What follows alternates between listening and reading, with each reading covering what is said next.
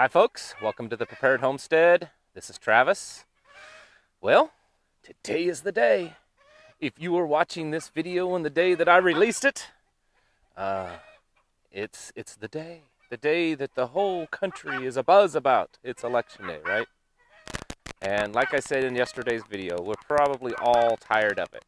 Uh, comments from yesterday's video, some of you were saying, just get it on you know, regardless of what's going to happen. It doesn't matter at this point who wins, what happens in the aftermath. It, you know, the suspense is, is worse than anything. Just kind of let it happen.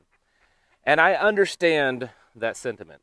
Um, I know some of you might say, well, if you just, you know, whatever, there's there could be people's lives that could be endangered uh, by hoping that it would just uh, whatever chaos is going to happen, happen. And that's not exactly what I meant.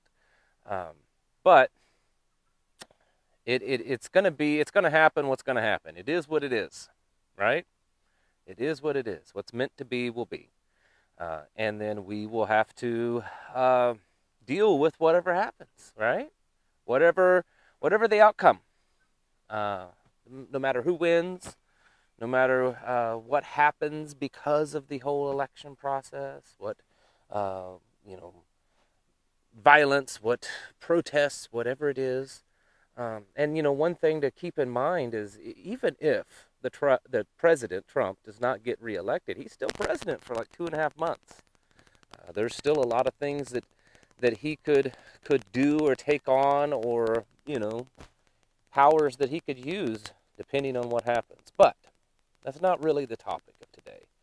Um, today, I just, I don't know where I want to go with this. I've got a, this is one of those days, just a lot of random thoughts and random ideas, and and I thought that maybe since it's the big election day, and and some of you, some of you don't care, because you tell me that.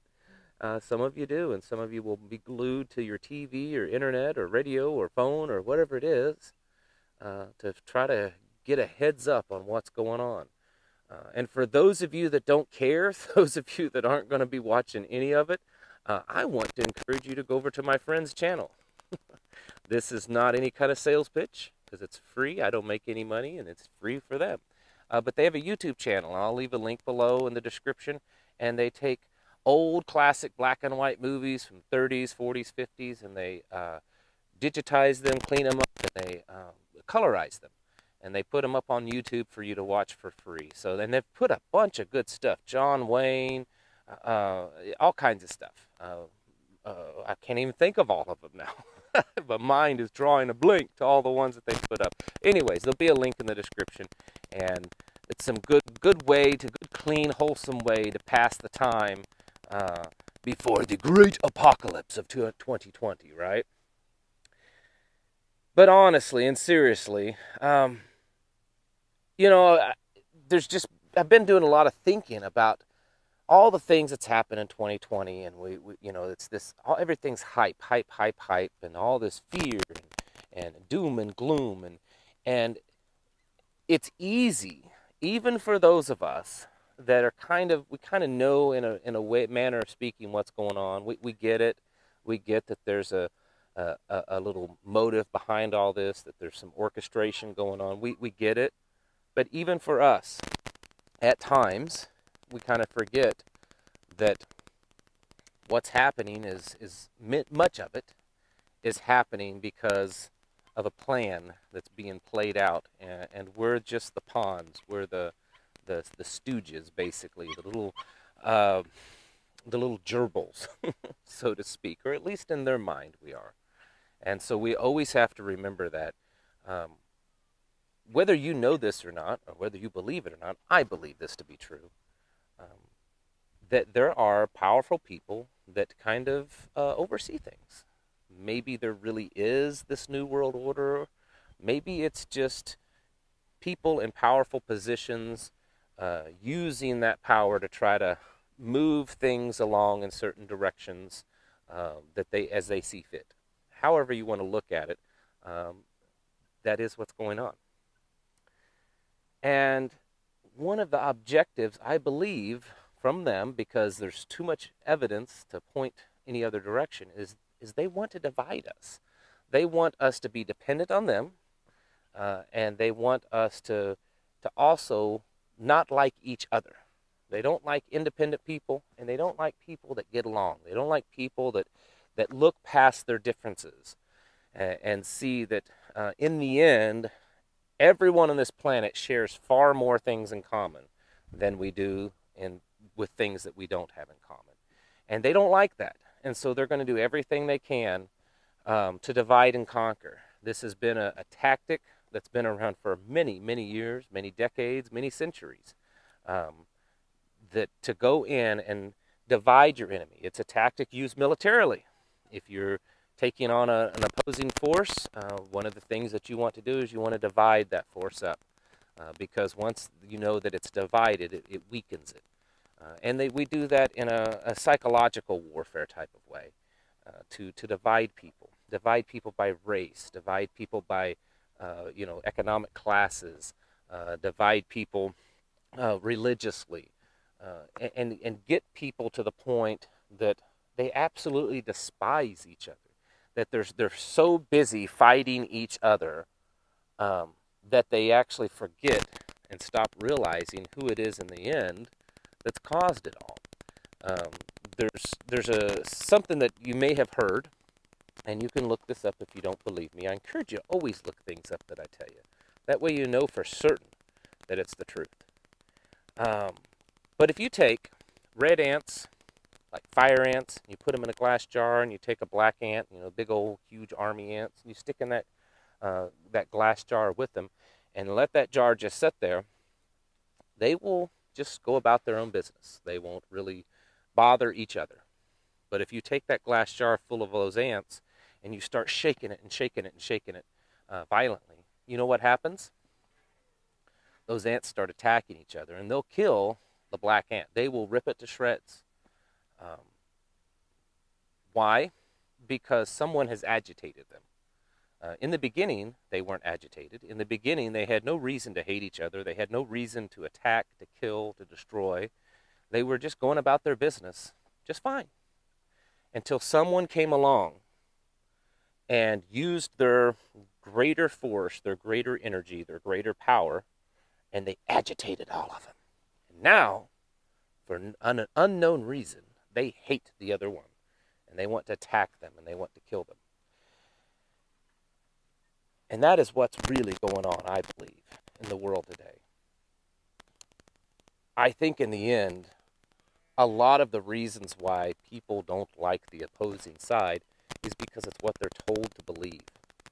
I know many of you can say, yeah, but I don't like liberals because of this, this, and this, and this. And of course, uh, liberals would say the same thing about you. They'd say, well, I don't like those right wing conservative constitutionalists because of this, this, and this, and this. I understand. and those are legitimate things. But in the end, the constant drumbeat of conservatives are bad because they want this. Liberals are bad because they want this. White people are bad because they do this. Black people are bad because they do this. Christians are bad because they do this. Jews are bad. Muslims are bad. Buddhists are bad. Rich people are bad. Poor people are bad on and on and on. People that eat meat, people that don't eat meat, people that live in the city, people that live in the country. The north, northerners are horrible, southerners are ridiculous. It's on and on and on. You get the point? that is what our society has become. This constant inundation of divide and conquer labeling everyone. Everyone has to have a label now. I mean, it's to the point that there's, you know, I don't even get it. I guess I'm getting old, but this, you know, pronouns or whatever, she, her, they, them, it, whatever it is. Everyone has a, is labeling themselves, and that's the thing. We've we've it's happened so long that now we're we're not accepting labels given to us. We're putting labels on ourselves. And what that does is is it creates a divide amongst ourselves. We have been so conditioned as a people, not necessarily you and I, but sometimes you and I, but the people as a whole have been so conditioned to, to label ourselves, put ourselves in a little box, and point out the differences between each other that we're doing it to ourselves now. We don't even have to wait for them to give us our, our, our label, for the, the powers that be to tell us that you're poor, you're rich, you're, you're black, you're white, you're, you're this, you're that. We, we're labeling ourselves. And what we're seeing is, is the results of it. We're seeing a, a nation and really a world that is becoming more fractured. Um, you know, I've said before, and then, you know, every time I mention masks, there's always someone that wants to defend them, and I want to I want to point it out just real quick. I'm not opposed at all to wearing a mask. If you want to wear a mask, if you feel that it's best for you, that's your business. I don't care. Um, if I lived in an area that had a lot of you know cases, I might wear one myself, or if I had to go to a place. I don't, so I don't wear a mask. That's your choice. But the point is that the constant wearing of the mask, the constant social distancing, not shaking hands, not going to uh, family gatherings, not going to church, all the things that for really throughout human history has brought us together and bonded us together in a community. Our religious beliefs, close knit family, uh, physical contact, shaking of hands, hugging, um, seeing the expression, human expression. There's there's all kinds of studies, psychological studies on on how the the human mind recognizes various facial expressions. All of that is being deleted. It's just it's being removed from us. And uh, whether or not you want to argue that it's healthy, physically healthy or not, or that it helps protect you or not, the point is, is it's dehumanizing us. Um, and I think that it's it goes right along with everything else that we have been seeing recently uh, and in the recent past, uh, the last few decades. It's just been this constant building, building, building in that direction. Um, and many of you might say, well, what, what can we do about it? Uh, what can we do to stop it? And my opinion is, is we have to resist. Passive resistance sometimes is more powerful than, than violent resistance. Um, one thing for sure that I believe of all this election, um, and whether you like Trump or not, and I know my listeners are kind of divided. Some of you like Trump, and some of you just don't like either candidate, uh, and that's fine. But I believe that there is one thing that I can absolutely, I'm not saying he hasn't done other things, but there's one thing that I can absolutely pinpoint that I do think that the president has done, and that he has fired up your typical American, just your average American. And I'm not even going to say your conservative American or the silent majority right wing Americans. I'm just talking about your average American. Most of what we're seeing of uh, just the outspokenness against him is typically on the left. But I'm talking about just your run of the mill, regular old red blooded American that in the past may have voted, but, you know, really wasn't that involved uh, because they believed that America was strong and that regardless of what America went through, she would always prevail. And what they're seeing is that America is not quite the, has the strength that they thought it did. That America can be brought down. That there are people in this country that are hell bent on destroying not just the nation from a political and government uh, standpoint, but actually destroying and, and, completely wiping away the moral fabric uh, that this nation was built upon. And I know that this country has, over the two and a half centuries it's existed, it's, it's done a lot of bad things. There's a lot of things it's done that it should not be proud of. There's also some good things. And if nothing else, the, the whole, the ideals that this country was founded on and that the people that have lived and built and spread across this nation has believed the, that ideal of, of freedom, of individuality, of respect, of morality, of not being told what to do, of taking care of each other, of understanding that there is definite right and that there's definite wrong. Uh, realizing that that just unchecked and unfeathered fettered immorality can lead us to a, a very dark place as a people. That there should be some kind of moral foundation, some some kind of moral fabric that holds a people together. Those things, along with many others, what really have built this nation to what it is. And people that believed that that would always exist are now seeing that those very foundation foundational principles are in jeopardy and could easily be destroyed in actually quite a quick amount of time. Not over generations but over just months or at the most a few years. And so i think the best thing that's happened with this administration is that there has been an enlightened or lightening of the fire. And so, while there is certainly a lot of things to be concerned with in this world, um, a great reset uh, that will, if it completes, if it's completed, it will vastly change everything that we know. Resetting economies, resetting um, the food industry, the food uh, systems, resetting everything there's a lot out there. And I'm fully convinced over the last several months that the agenda of uh, more of a global community and the agenda of uh, of those in power that they want to, you know, basically completely take over, uh, I believe that it's it's in full force.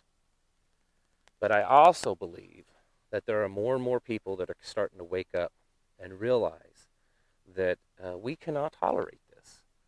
And so, regardless, regardless of what happens this evening or the coming days or coming weeks with this election, uh, regardless of who wins, uh, and really regardless of what violence may ensue because of the election. Those of you that I'm speaking to right now, if you can hear my voice and you know that, that these ideals that I'm speaking of uh, must not be destroyed and must not die away. They, we must pass them on to our children. We, we must continue them. Um, if you hear that and you agree with that, then you are obligated. You really are obligated to, to continue those things and to resist this, this domination, resist this, this new world order, this, this new age, this, um, reset of everything that, that, that we have ever known. And, and know that if enough of us, and I believe there are enough, uh, stand together and do this, then, then there is a chance. There's a chance that, that we can prevail over this. Um, I believe in my heart, and maybe I'm just way too optimistic, um, I believe that there are enough good people left in this country to, to take a stand.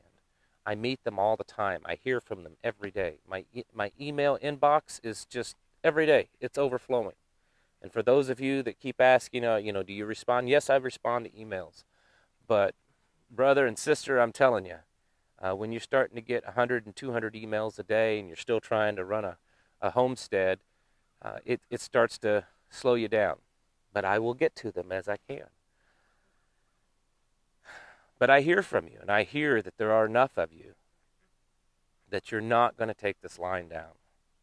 You're not going to just roll over and play dead. You're not going to allow the, the, the corporate uh, leaders and the, the, the central bankers and the, uh, the globalists to win, no matter what. I would rather die with my boots on, standing in my, you know, on my feet, than to, to live on my knees. And I think many of you feel the same way. So, regardless of, again, of what happens today, what happens this evening, what happens over the coming weeks, um, that moral fabric that made us a great nation, that made us a great people, that instilled that pride that other people around the world for the last two centuries have, have done everything they can to come here to live because they want part of that. They want to taste it. They want to see it. They want to be it. That can still exist. Uh, and regardless of where this country goes, regardless of if it, if it stops being a country anymore, those beliefs, those morals, those principle foundations that make us a good people, they don't have to go away. We goodness in the end can still win, and I believe it will win because I've read the end of the book.